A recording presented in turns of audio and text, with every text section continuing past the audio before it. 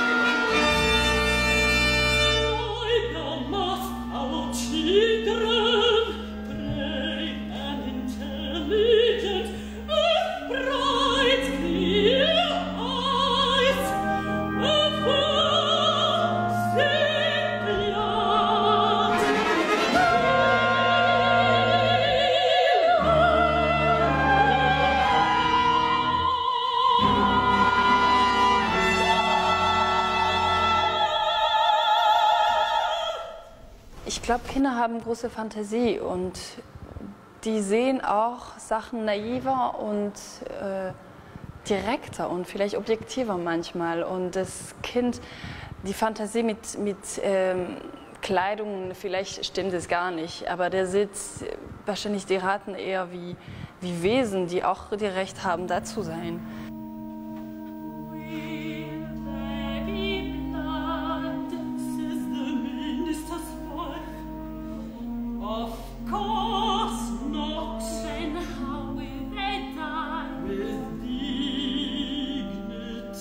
Ich glaube, das ist einfach diese, die, das Kind versteht nicht, warum die, die Ratten sterben sollen. Deswegen kommt dieser Vergleich mit Menschen. Aber erklär mir doch, weil ich finde, die sind näher an, an uns als, als wir denken. Also das verstehe ich nicht. Die sind doch wie uns. Die haben doch Kinder und die, die haben doch Klamotten und so.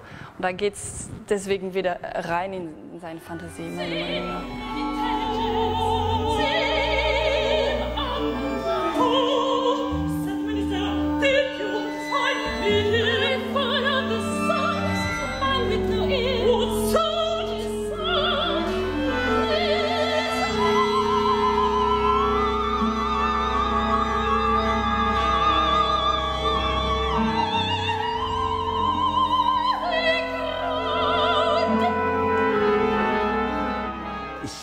Ich liebe die musikalische Sprache. Ich finde so fein, so ähm, präzis, so fantasievoll. Und ich interessiere mich sehr auch so für eine reiche, harmonische Sprache. Und das findet man hier die ganze Zeit. Es, äh, das Stück ist fantastisch instrumentiert.